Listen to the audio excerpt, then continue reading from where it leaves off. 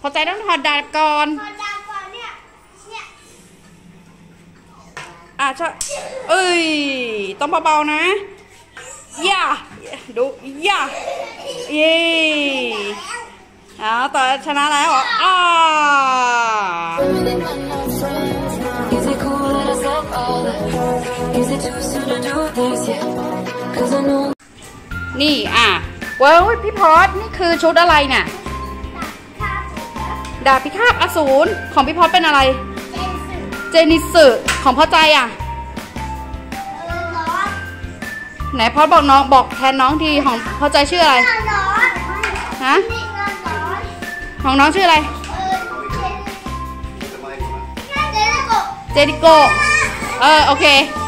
อะอะไม่ให้พูดอะพอใจพูดแล้วพอใจพูดพอใจเป็นตัวอะไรไอ้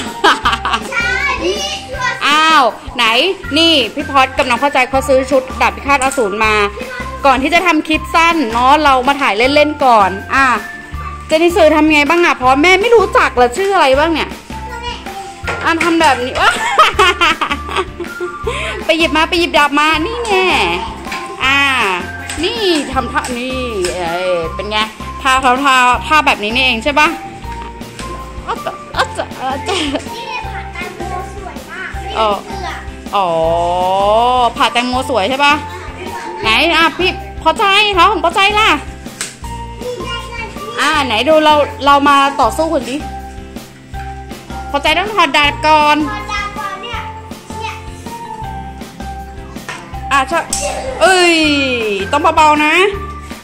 ย่าดูย่าเย้ อาต่อชนะแล้วเหรออ่า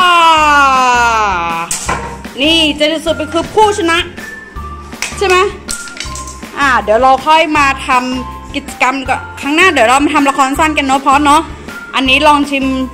ไอ้นี่ก่อนเนาะชิมรางชุดก่อนใช่ปะเป็นไงเท่ปะ